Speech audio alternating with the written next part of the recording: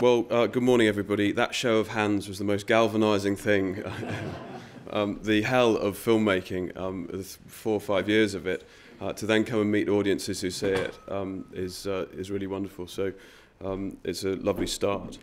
Uh, I'm going to begin by saying just a, a few uh, words about the film Four Horsemen, um, and then go on to talk about why, having made it and gone through that process, uh, I don't ever feel that we will return to business as usual. Um, so just very quickly, a little bit of history on the film. It premiered this time last year, exactly this time last year. In fact, this weekend last year at IDFA, which is the kind of Cannes for documentaries, if you like, in the Netherlands. Um, it was seen there by a lot of people who program festivals. It did quite well at that festival, and they then picked it up and played it uh, at their festivals around the world. To date, it's done about 26 festivals, I think. Um, it has um, really chimed with a lot of audiences in places where economically it's been very tough. So, for instance, Ireland, uh, it won an audience prize, and you can almost uh, imagine why. Um, people who've been on the receiving end of bad economic policy tend to embrace the message uh, a lot quicker. Chile, also, it did very well. So um, we made the film because four years ago we realized, four and a half years ago, five years ago, we realized there was something really badly wrong with the global economy. And no one was talking about it. Uh, so we went and tried to raise some money, and we said to people, look, this is pre-2008. We said, look, there's something really badly wrong with the global economy, no one's talking about it. And they said, don't worry, everything will be fine. And then 2008 happened, and we were still trying to raise money. And um, we, we went and said, look, we said, you know, and, and this is going to be this is going to be ongoing. And they said, no, don't worry, they've put it all back together. Just carry on and sleep. and um, we carried on making the film. The other thing that was said, that, uh, which was curious, was that we won't ever get young people, or in fact anyone else, interested in economics. And one of the fa uh, fascinating things I've found on the circuit, taking this film around, is that 65, 70% of audiences are 35 and younger. Um, for the first time ever, people are realizing that the current generation coming through may not live as well as the generations that have gone before. And through necessity, they're having to re engage. And I see this as hugely hopeful. So, um, having done hundreds of Q&As, I'm going to be honest with you, this is daunting because uh, you're all economists and philosophers. so the Q&A is probably going to be quite sparkly. But that's uh, where the kind of learning uh, goes on, where those clash of ideas come out, uh, and that kind of learning moves us all forward. Um, what I'm going to do is present it because we are a filmmaking uh, business. I'm going to present the speech as a scriptwriter would present a Hollywood movie, that using the Hollywood formula. Um, because, um, well, uh, the reason is we can then give ourselves a bit more context. It's really difficult when you're in a situation, when you're in a system, to get far enough away from the system to understand the system. Now, you're either consciously aware or unaware of this. Um, and I'm going to add a couple of things to it. Um, but this generally is what happens. In fact, it happened to all of you this morning getting here. We always go through this, however tough or however easy your journey's way, we will have all gone through this. If you're making a cup of tea, there's an exciting event, I want a cup of tea. Uh, you then call to action. If it's in our office, you've then got to get through a lot of dirty washing up that no one else has done. Um, exhalating complexity, there's no milk. Uh, obviously, there's a penny drop moment. I need milk. Uh, bad guys close in, shops closed over the road in some massive conspiratorial uh, venture against you. And then the protagonist has a final battle. You go to another shop, whatever it may be, and you hit your new equilibrium which is you have your cup of tea. So that's how I think best to package this.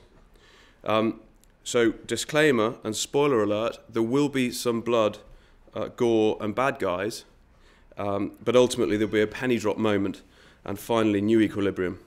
Whether or not there's a happy ending is up to you, um, but uh, that's the format. For the first time in history, uh, four megatrends are converging. This hasn't happened before. These four megatrends are a rapacious financial system, escalating organized violence, depletion of the Earth's natural resources, and abject poverty or famine for the bottom billions. These trends are converging at a time when politicians, economists, and organized religion have stalled. Equally, they've arrived at a time when conditions for change have never been more favourable. Globally, we are connected to one another like never before, but that's often wheeled out, that uh, example. Something else is at play that I think a lot of people underestimate, and that is that we have one of the biggest people opportunities in history. And when I say people opportunities, I mean that globally, hundreds of thousands of people are unemployed or leaving university without a job to go to. As, nece- as necessity is the greatest motivator, those people will be forced into creating their own employment or organisations. There is understandable fear associated with taking full responsibility for your employment, but I really see the make a job paradigm versus take a job as full of potential. Whether you see it as fearful or exciting really depends on your perspective. During making Four Horsemen, we tended to bump into two types of people. One would reaffirm to us constantly how terrible it all is and how we were all doomed. Uh, and the other was somebody who sees the massive opportunities that are associated with the creative destruction that we're witnessing at the moment.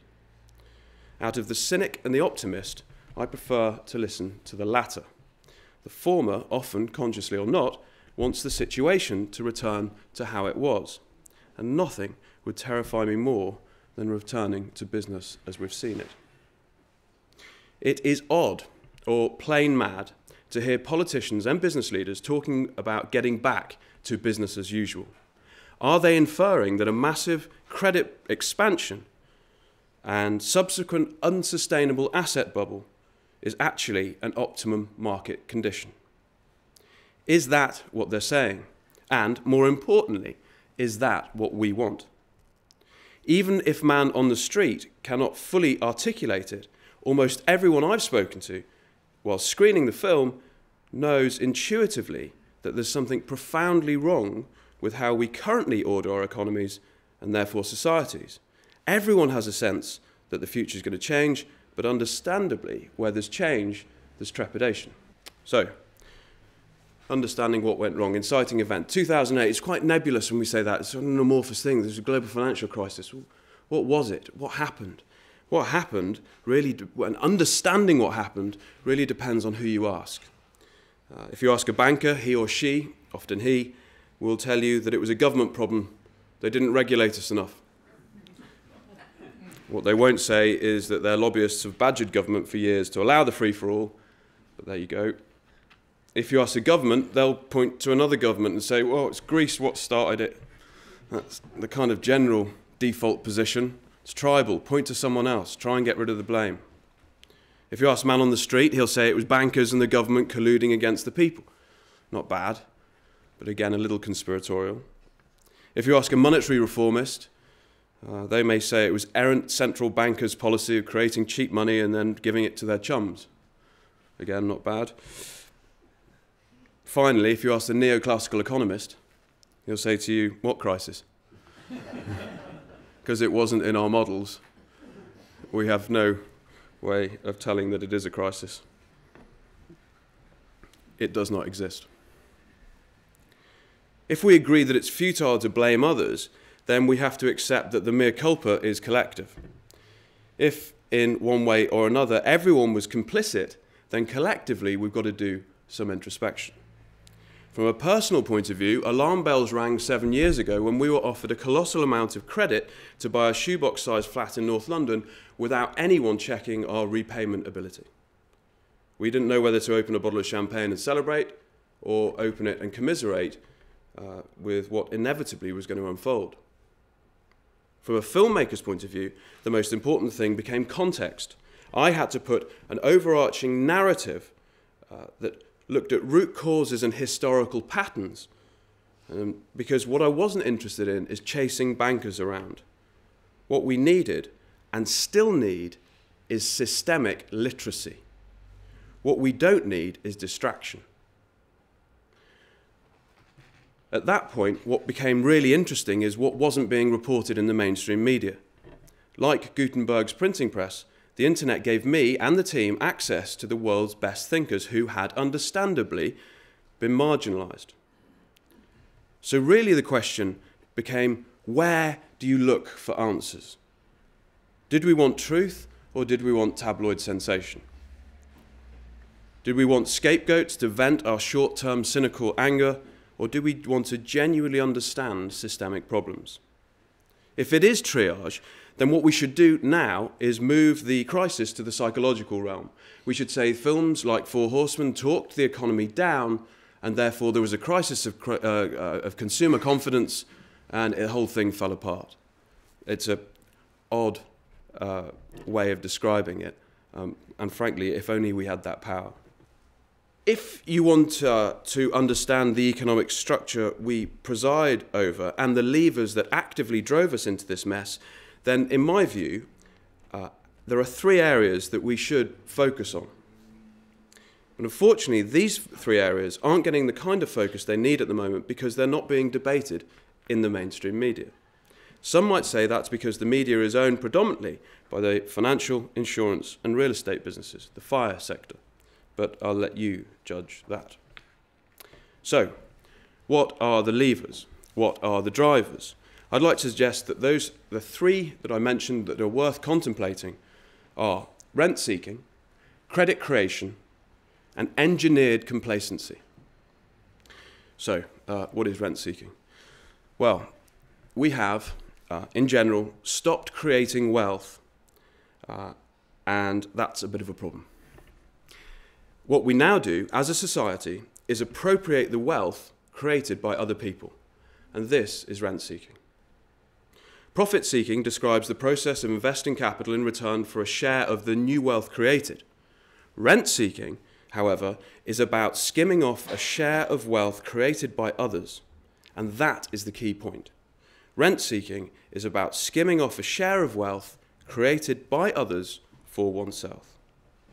Today, uh, colonialism is distasteful, but strangely, we accommodate the imperialist levers that encourage it. But instead of now going to far flung places around the world to extract wealth from native people, as happened during the uh, empire building years of imperialist countries, today rent seekers have created a system closer to home, or in fact, at home. Uh, that has legalized and actually glorified the rent seeking process. Rent seeking can take many forms. The pre crash craze for private equity takeovers of perfectly viable business is a form of rent seeking. The income earned by rent seekers often comes from land rent. Russian oligarchs, for example, owe their immense wealth to the fact that they were effectively given free use of vast quantities of natural resources after the fall of communism. Rent seeking has always cost in terms of resources that could otherwise be applied to the creation of new wealth. Not only is it a legalized form of economic theft, but it also diverts resources from the real economy. The only people able to successfully engage in rent seeking activities are often the people who are already so well off that they don't need to find work in the real economy. So, it's no wonder that they get aggrieved when their monopoly is threatened. Take Stephen Schwarzman, for instance. He's the CEO of Blackstone. Blackstone is the American company specializing in private equity, real estate, and credit. It was this company who siphoned off the economic rent from Southern Cross nursing homes in the UK. Schwarzman bought Southern Cross in 2004 for 162 million pounds and flipped it 3 years later for well over 4 times the original price.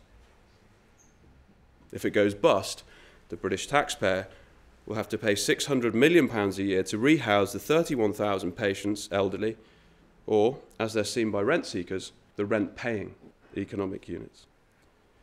In August 2010, when US President Barack Obama said he was going to raise carried interest rates, or better, not treat carried interest as income, which would close the tax loophole to curb this kind of practice, Schwarzman compared the president's plan to Hitler's invasion of Poland in 1939 incidentally, lobbying politicians to enact legislation that will make it harder for producers to gain entry to a market or protect your monopoly is another form of rent seeking. So, we live in a society where rent seeking is rife, I would suggest, and those who embark on it, strangely, are celebrated. But what about credit creation?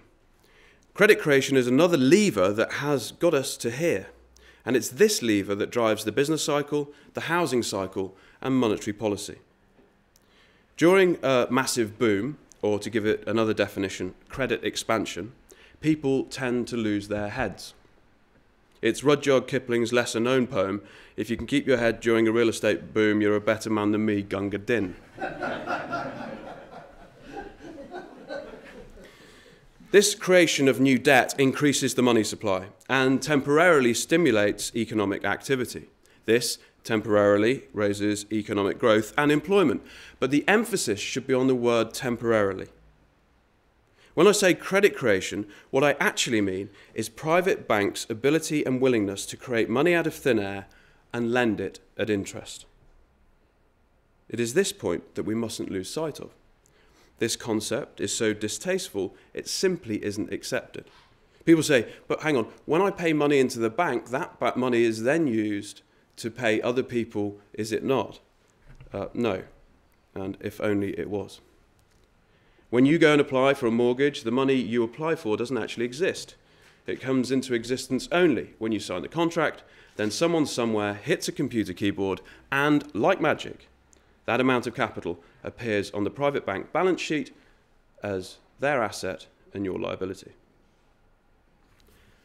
For a time globally, this created a dazzling economic miracle. House prices took off and consumer spending went berserk, as we all dutifully indulged in the escapism of consumerism conventional wisdom and common sense were parked, as almost everyone took their eye off the ball and partied hard. Question is miracle or mirage? The mechanism was simple. The more credit that was produced from thin air was absorbed into the sponge like land market. And suddenly, land speculation became one of the most profitable games in town. TV property pundits around the world convinced everybody that the tulip mania not just of British housing, but all housing, was the road to universal riches. Why go out and work and add real value when you can buy a flat, paint the walls magnolia, lay generic wooden floors, install an obligatory water feature, and then flip the debt laden asset to someone else and hope that the music keeps playing? Temporarily, it worked. Homeowners got a huge uplift in their property prices, bankers received massive bonuses, and IKEA's sales skyrocketed.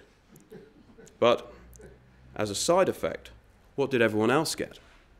That's a question that wasn't being asked. I'd like to say that what everyone else got was a consumption based economy.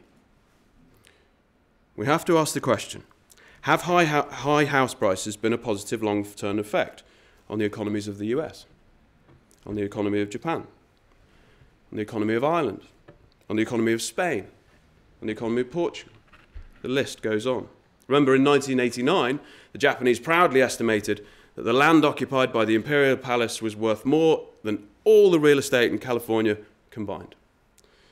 So, is there a link between those temporary economic bragging rights and the fact today that current Japanese debts are equal to 240% of the country's GDP.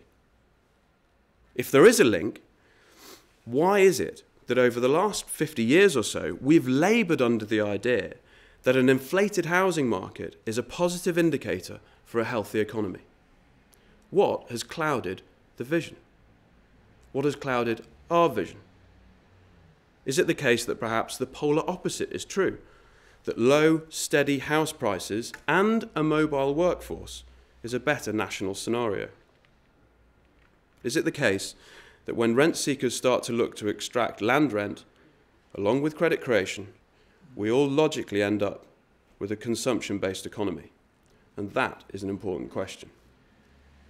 A consumption based economy has certainly been the physical manifestation, but for that to happen subtly, something else must have happened to usher in the new paradigm. During the boom, and this is the complacency aspect I'd like to put to you. During the boom, many people assumed a here to be served mentality. Instead of being active stewards of the society in which we lived, many people actually attached their house price to our self worth. We defined ourselves not by what we produced or what we worked towards, but by what we consumed. Unfortunately, today we're still living with this service mentality because someone else in London, Washington, or Brussels are looking after our affairs on our behalf, aren't they? Uh, no, they're not. they are paddling for their own economic and political lives, and the last people they're thinking about are you. In fact, they probably think it was you caused all this, and in a blizzard of escalating complexity, uh, we could be led to believe that it is our fault. No one can be blamed for relying on increased house prices because their basic consumption has been outstripped and their wages have been suppressed. Nobody can be blamed for borrowing money to feed, clothe their children. Um, so, what we don't need now is a heavy dose of self flagellation. What we need to do is take the goggles off.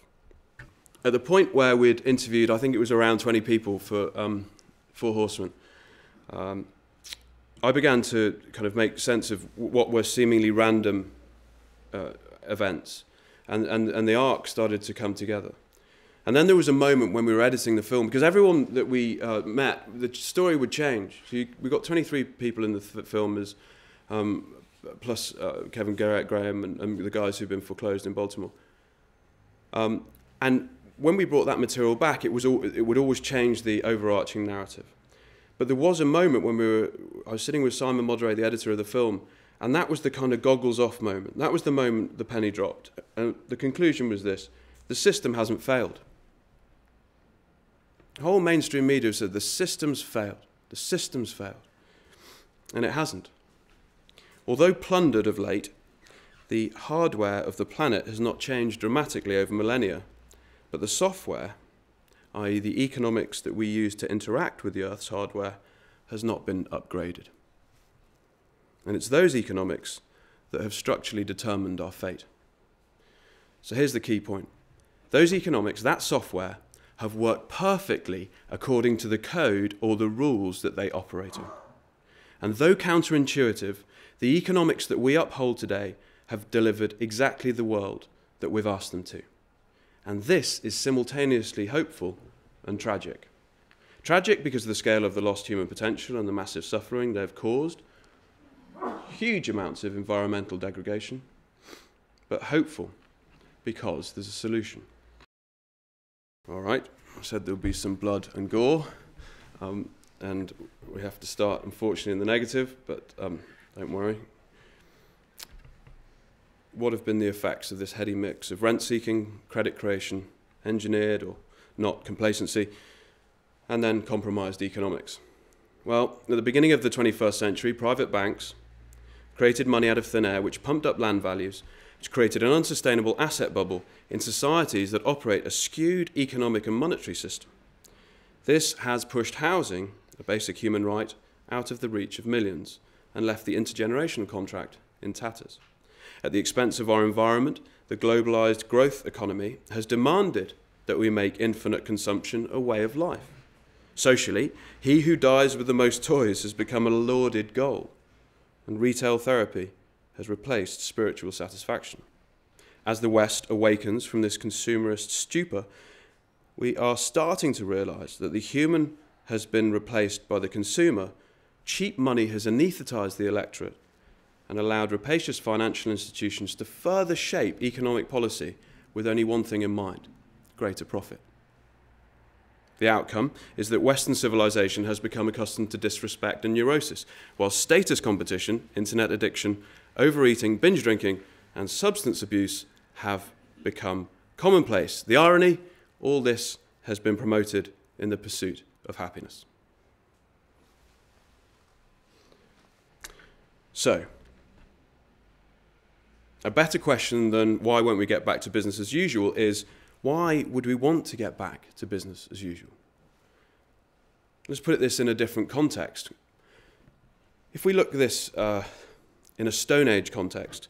Think of it. A caveman has just discovered how to use fire, and um, he's so excited he goes back and introduces it to his tribe. So he goes to the elder and he shows the benefits of tamed fire, and he shows the elder and the tribe that look, you can cook food with it, you can light, and you've got a new weapon. Suddenly, the fire maker has become one of the most important people in the tribe, right? He's a resourceful chap and he's the new guy on the block. But the tribe elder can see the power structure was going to shift, the hierarchy is going to change. So, to maintain control, the tribal elder will probably point out the negative aspects of fire. He'll use propaganda to maintain his position. He'll say something like, um, you know, this fire thing is going to upset the gods. This fire thing, so, you know, better, better put that away. We've got to get back to business as usual. Really, what's happening with the tribe elder is he's understanding, consciously or not, that there are two options. The first is to go back to that business as usual, the darkness, the, the polluted food, and all the rest of it. No fire.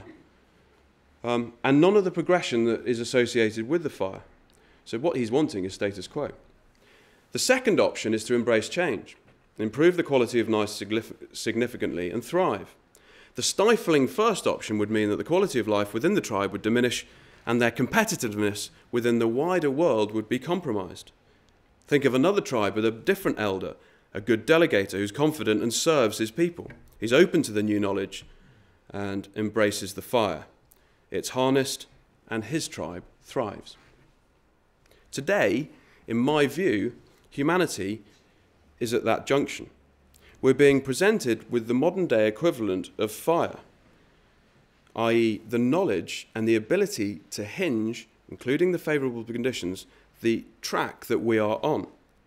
But we're lumbered with a global society riven by competing short term interests who want to maintain the status quo.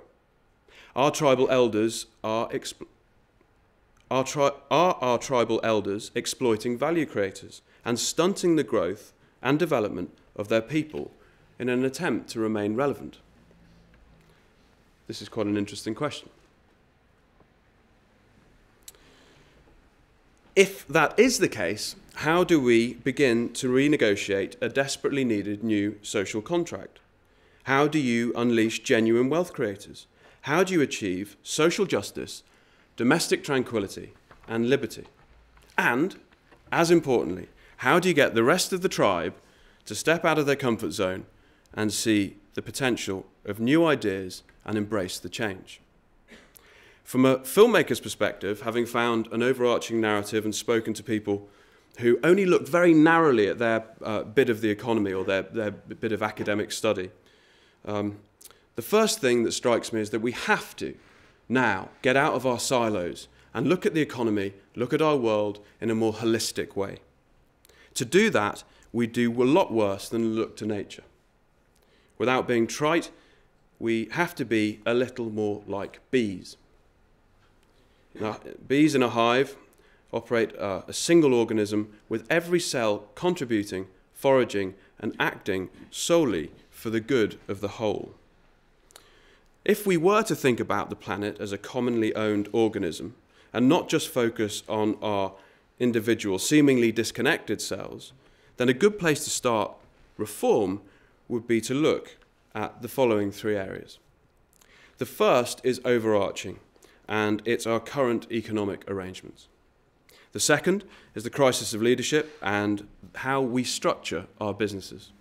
And the third, that's our economics, uh, the way we interact with the earth, its natural resources, and each other. First, let's take the current economic setup.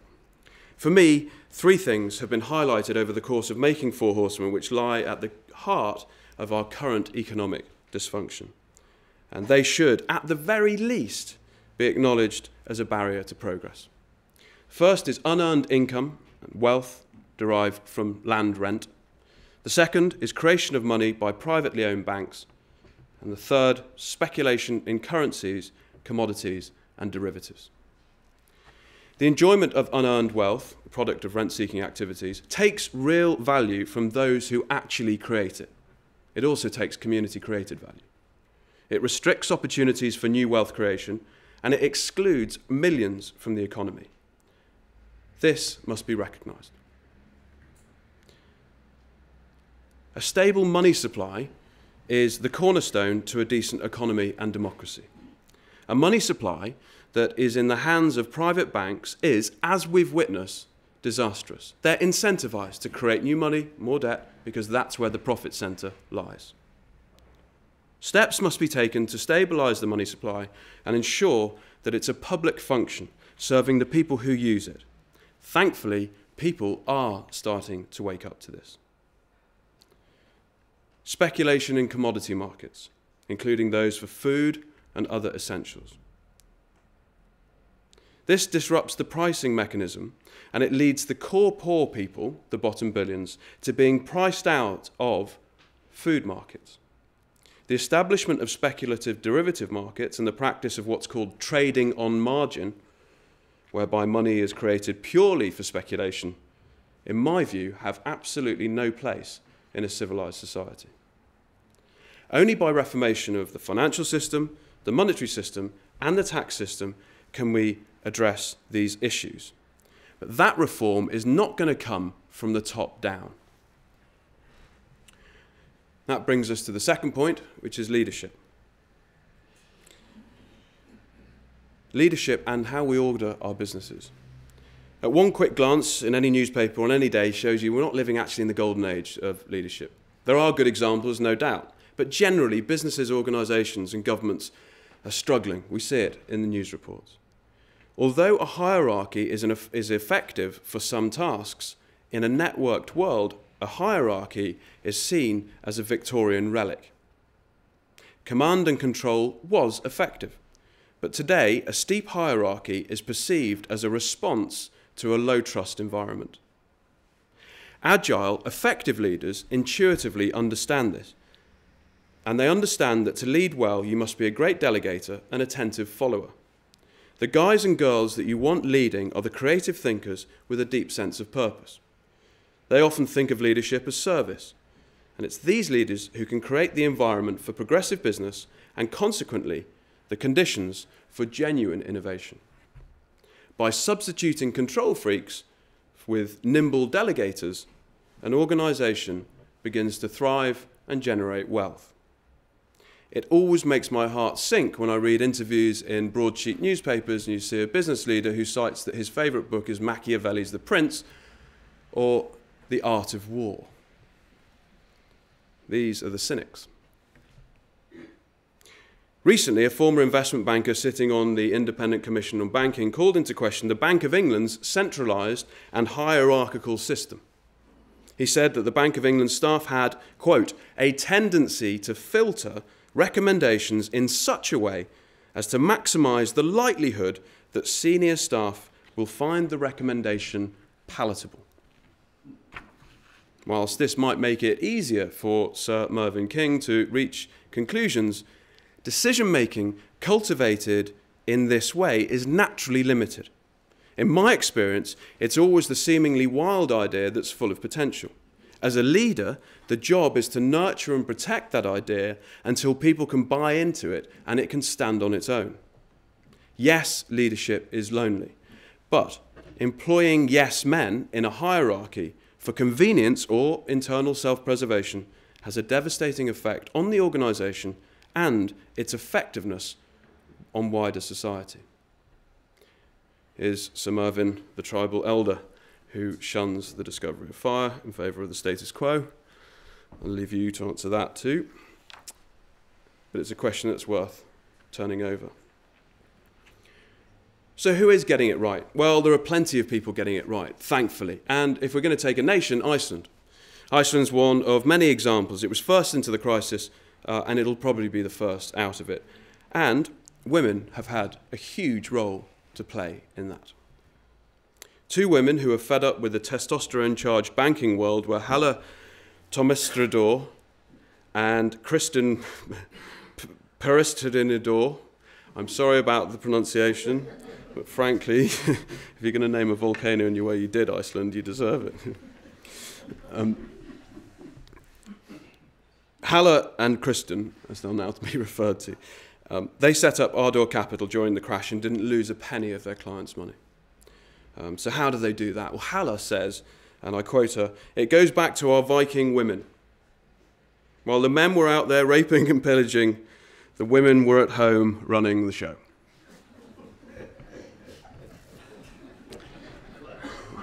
So, let you meditate on that for a second. Don't discuss that tonight over a couple of glasses of wine at dinner. she says um, their business has five core feminine values. First, risk awareness. They will not invest in things they do not understand. Second, profit with principles. Uh, they like a wider definition of profit. So it's not just economic, but it has to have a positive social, personal, and environmental impact. The third is emotional capital, key point. When they invest, they do an emotional due diligence test on the organization they're going to invest in. And they assess whether the corporate culture, the business culture in that organization, is an asset or a liability. Fourth, straight talking. They think the language of finance should be accessible and not part of the alienating nature of current banking culture. And lastly, independence. Fifth, they uh, would like to see more women increasingly financially independent so they can become the person that they can be. So they're the values they've built their business on, and it's successful. But it can't be, right? It can't be. We can't use those values. That's not how the world works. It's naive, it's stupid. Those values, it's just fantasy, right?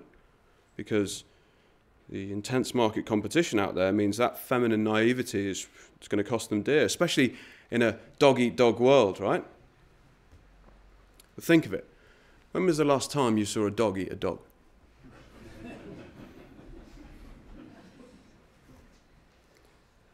The male ego loves this language and posturing, but the brutal concept is a myth. Dogs don't eat dogs. Dogs help dogs. Like us, dogs are pack animals predisposed to help one another most of the time. Admittedly, there are mad dogs, but when, we, when dog packs spot them, they ostracize them. And that's where we humans differ from our faithful friends. Bizarrely, we humans tend to celebrate mad dogs. Seriously, if you will, for a minute, just imagine a world populated entirely by Gordon Gekko. Imagine Donald Trump, billions of them. Or, of course, Mitt Romney. The latter strapped his dog to the roof of his car and went on a 12 hour road trip with it. Crazy. Imagine this world if those people were the dominating faction. Imagine what humanity would look like. So, my suggestion would be let's park this unexamined dog eat dog assumption. It's just plain wrong. It is the, and I'd ask this question on the back of that Is it the case that the tendency in most people to cooperate is stronger and more widespread than the tendency to compete and destroy? If so, in short, we need to get over ourselves. We need to be courageous enough to stop raping and pillaging and we need to be cooperative. I know, terrifying stuff. Oddly, beginning this shift from competition to cooperation will not be easy, but we have to remain optimistic. Globally, today, more people work for cooperatives than they do multinationals. 75% of all fair trade produce is grown by co ops. The movement is the ultimate sleeping giant and a lifeline for workers. Cooperatives create local jobs that generate real wealth for the community. By anchoring public service procurement or local food production, they begin to stabilise and revitalise areas that have been looted by big business. By anchoring jobs and local money, they stop capital flight. This is not a point that the proponents of globalisation can make.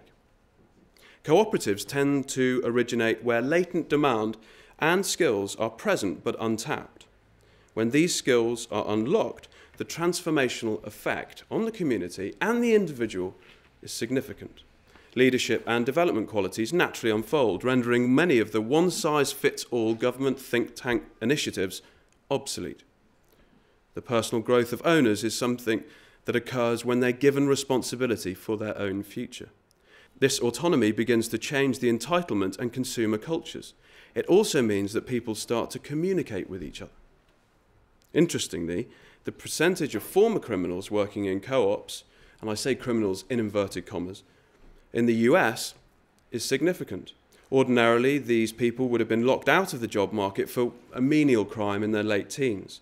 Logically, they'd have to then trade in the black market for life, which puts in tremendous pressure on the courts in America and the police. However, it gives tremendous profits to the privatized American prison system. The cooperative structure gives meaning and purpose. It begins to address the root causes of the understandable live for the weekend culture that's a direct consequence of Western employment models and suppressed wages. This co op model is not new, it's just been forgotten. We have been complacent when we're looking at models. By removing job insecurity and supporting the individual, family and, uh, family and wealth building begin to occur. This starts a virtuous circle that's diametrically opposed to the race to the bottom economy that we currently tolerate. This positive democratic ownership lever at the heart of co ops give employees a stake in their future. Hope begins to return, and they're motivated to pay closer attention to the decisions that will affect their lives. In short, the cooperative, a cooperative, is the perfect antidote to predatory capitalism. If the rentier is the enemy of the entrepreneur and the worker class needs to be protected from people like Schwarzman, Gekko, Trump, Romney et al., then the co op is the model to do it. No, it's not perfect, but it can be modified so those spoils do not get away. If Goethe reminds us that man can survive anything but a succession of ordinary days, then cooperatives remind us that it is possible for people to have dignified jobs in democratic workplaces. So, as we conclude, I'd like to say that the last point is the very ideology and the ideas that have, let's say, locked us and locked these levers into uh, structurally determined behaviour that has driven us to where we've got to today. And that, ladies and gentlemen, uh, are, are, economics.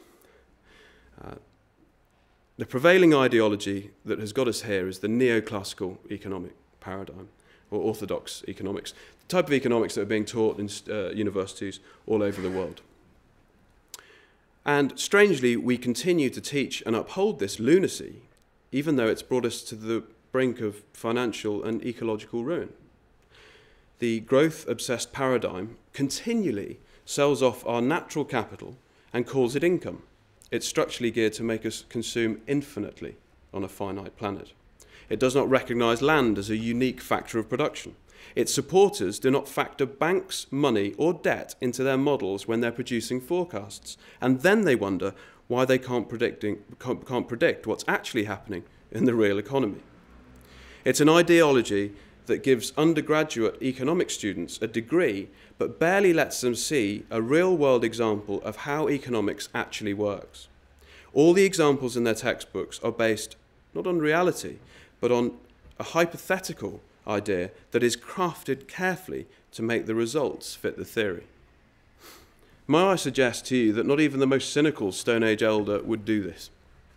Same students are forced to use micro concepts to describe the macro economy, and they leave university thinking that there's nothing wrong with utilitarianism and a reductionist approach to ethics. They're told that as economists, they shouldn't do morality. But they're unable to see that not doing morality makes the biggest judgment call on morality ever, i.e., amoralism is fine, it's acceptable. This is a philosophically absurd situation. Don't worry, all is not lost. Uh, last November, 70 Harvard economics students walked out of their lecture by faculty head uh, Greg Mankiw. Uh, they are angry at the conservative nature of Harvard's economics course and suspicious at their lecturers' failure to predict the ongoing crisis and have begun to lose faith in the theories and the neoclassical ideology. Earlier this year, we screened Four Horsemen at the Oxford Union, and after the debate, the head of economics there came to me and he said, Thanks for making this. It means that I can now say that what we've been teaching for the last X years is practically useless. He is a brave man, ladies and gentlemen, because many in his position would never utter those dangerous words. But thankfully, the cat is out of the bag. As we all upgrade our computer software every 18 months or mobile phones, it's now time, I would suggest to you, that we have to upgrade the Earth's operating system with dynamic people and planet centric code. That has to happen. And if you want to avert the all is lost moment, if we're focusing anywhere else, then frankly, we're potentially wasting our time. That is a working surface that we should give some attention to. Enacting this change, along with taking a more holistic view, would bring us naturally to new equilibrium. In storytelling terms, new equilibrium is the point where the protagonist has reached his or her quest, having won the final battle. They win the final battle by fundamentally changing the rules. That's what protagonists do. By changing those rules, the, the protagonist changes the world, but importantly, they change themselves. That's the shift we see in people in the narrative arc. At that point, the members of the audience perceive the old world as so unpalatable, so regressive, so laughable, that they never want to go back there. In short, at the new equilibrium, the world can never go back to how it was because we've reached new knowledge and understanding. At this point, the motives of certain mad dog characters in the story are exposed and they're then faced down as we enter a new phase called Brave New World. To make this shift, we have to understand that leadership is a process, not a position. Hopefully, today we can see the distinction, make the distinction between leaders and ongoing leadership. Hopefully, today we can now make the distinction between the theory of economics as it's taught and the reality. Hopefully, we make the distinction between value creators and those who extract value, between cynics and optimists, and between those who ask the genuine question, who really want to push us forward, and those who waylay humanity by playing devil's advocate. Hopefully, we agree that we don't need any more heroic acts or fiery political platitudes, just first steps in the right direction. For this, what we do need is the thing that enables every society to take those changes in its stride. What's that? Well, it's people. Can't be done any other way. People whose education is rounded, not just academic. People whose judgment is calm and perceptive. People whose actions are aligned with good intent. People who, when needed, are prepared to step up as leaders, even if they are not the leader in terms of position. The here to be served mentality has not worked. Maybe the here to serve mentality is more effective. This empowering approach places the initiative with groups of individuals who can collectively set a direction and build commitment and momentum towards any shared goal. During an age where we're distracted by the illusion of choice, really, I break it to you, we have only two choices action or reaction. Reaction means countless ad hoc responses to short term pressures and ultimately a loss of control. Action, conscious action, means assuming stewardship of the world you, we inhabit. For this audience, I would like to echo the wise words of Tony Judt and suggest that a philosopher's job is not just to interpret the world, but to change it for the better. With this in mind, we're left with a beautifully simple question Do we act or do we react? I would suggest to you that how we, you, personally answer that question will become our new business as usual. Thank you very much.